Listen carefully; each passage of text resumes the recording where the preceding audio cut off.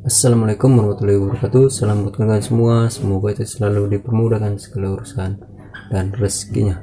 Amin ya rabbal alamin. Oke kawan pada kesempatan kali ini saya Mau membuat Video tentang Cara mengatasi laras yang ngaca Dan berbagi pengalaman juga kawan ya. Karena Saya kemarin Kenapa nggak anting-anting Karena unit saya ngaca ngacak parah kawannya. Padahal sudah saya cloning peredam sudah saya periksa. Pokoknya itu semua sudah saya lakukan. Saya pun sharing juga di YouTube. Tapi hasilnya masih gitu juga kawan. Masih tetap ngacak padahal mimis itu udah tadinya memang itu ya mimisnya. Cuma masih ngacak juga. Pun saya coba juga pakai mimis yang lain.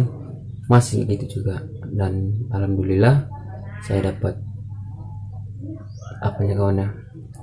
Dapat kendalanya di mana?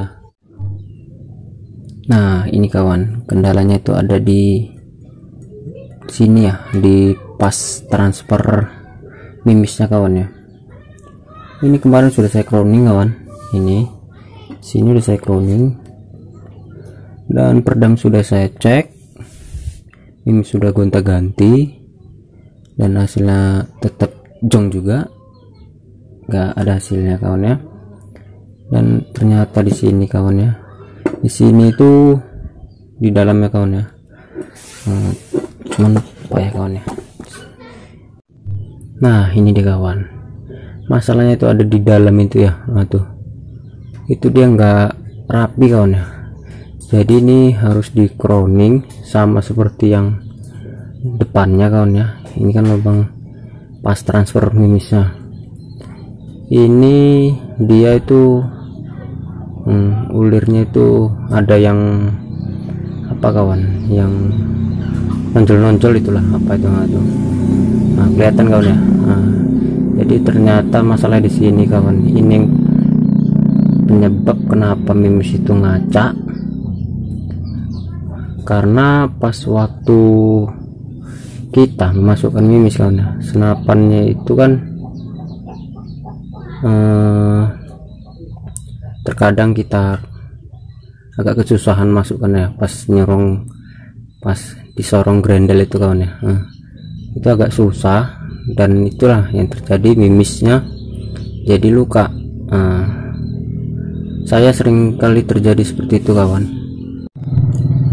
Nah itu dia tadi kawan ya ternyata masalahnya di dalam ini di ulirnya. Kenapa mimisnya itu ngaca? Karena pas di dalam ini ulir yang ini ulir yang di sini tuh dia ada benjolan kawan. Ada benjolan. Pas ketika kita masukkan mimis kan terkadang itu disorong agak seret kawan ya. Agak keset itu ya. Nah itulah kawan yang menyebabkan kenapa mimis itu ngaca karena dia begitu kita masukkan mimisnya kita sorong udah luka duluan itu. Hmm. begitu tembakan itu kan udah mungkin udah nggak sama-sama di sini kan karena di sini udah udah rusak dia. Ya itulah kawannya. Kemarin saya coba juga PCP ada kawannya. PCP milik tetangga sini dia punya keluhan seperti itu. Kenapa kok sering kali ngaca ternyata masalah di situ kawan. Saya udah bolak balik ganti teleskop ganti peredam udah saya croning saya ganti mimis juga sudah bolak balik ganti mimis ternyata hasilnya jong juga kawan. Dan ternyata saya bongkar saya lihat ternyata penyebabnya di sini sama seperti saya ini juga. Penyebabnya ini juga kawannya inilah penyebab kenapa mimis itu sering ngaca nggak mau nitik kawan ya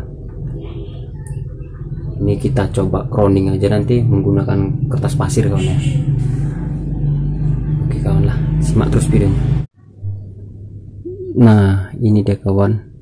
Mimis yang pertama kali saya masukkan ini dia. Ini terjadi sudah bolak-balik seperti ini kawan ya.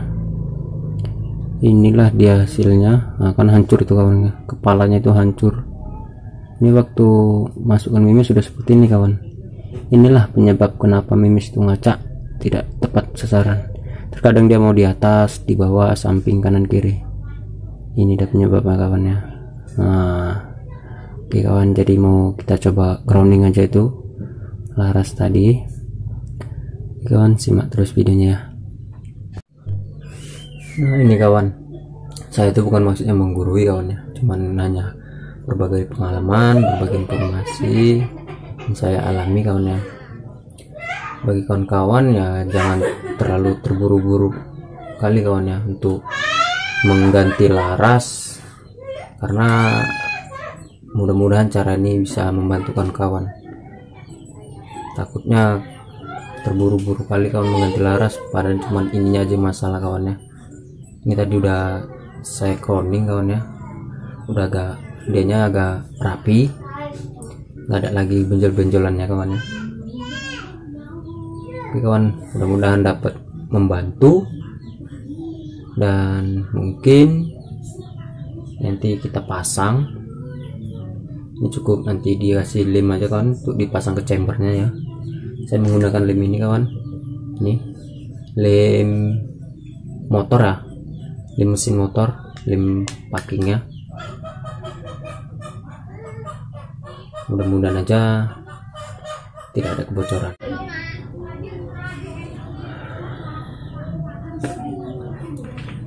Oke kawan. Mungkin sekian dulu video dari saya. Mudah-mudahan dapat membantu kawan-kawan semua. Dan saya akhiri. Assalamualaikum warahmatullahi wabarakatuh. Salam sniper medan club bye bye